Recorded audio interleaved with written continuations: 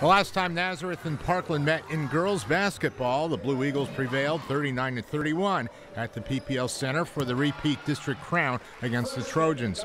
Parkland gets a spark early in the game. Talia Zurinskas with the defensive gem, the steal and two. She had seven points.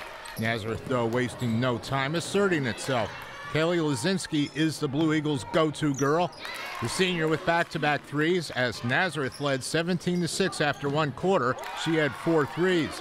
Zoe Wilkinson scored all of her nine points in the second for the Trojans, who got within four points of the Blue Eagles. But Rich Bickert's squad enjoyed a nine-point advantage at intermission. Maddie Siggins drains the three ball to cut Parkland's deficit to 33 to 30.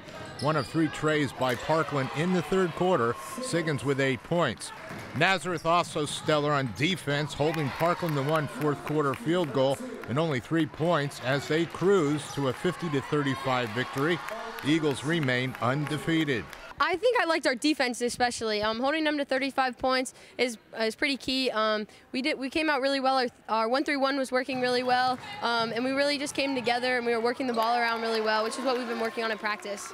We did some good things, we did some bad things, but it's early in the year yet. Uh, defensively, I thought we played pretty well. And, they made some shots early, and uh, then we changed some around and uh, held them down a little bit. Offensively, we finally got in a flow, I think, at the end there.